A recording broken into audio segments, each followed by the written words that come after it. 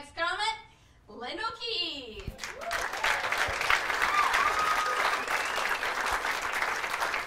Ah, woo! Look at you guys clapping like you know me. It's freaking rad. Love it. Oh man, uh, God, growing up. We'll get this over here. Growing up was really hard, man. Like Melanie, I grew up in a really Christian household. It's really tough. There's so many expectations, man. I mean, my mom's like, "You got to be more like Jesus, son. Just got to be more like Jesus." Like, dude, I'm from Texas. Can you imagine a Texan Jesus?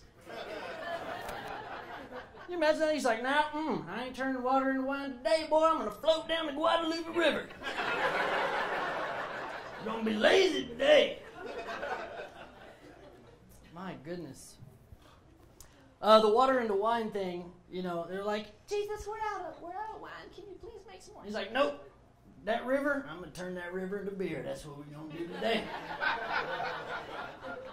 and you know, in Texas, it's Colbert. There's not even a D at the end. Colbert.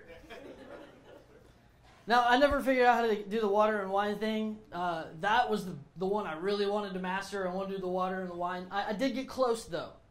I did figure out how to turn my aunt's vodka into water.